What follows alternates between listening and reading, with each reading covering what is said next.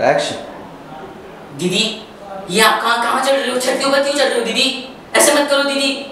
ऐसे मत करो दीदी। रुक जाओ रुक जाओ रुक जाओ। गिर जाओगे, रुक जाओ दीदी। मैं पास नहीं आऊँगा, मैं पास नहीं आऊँगा दीदी। ऐसे मत करो दीदी।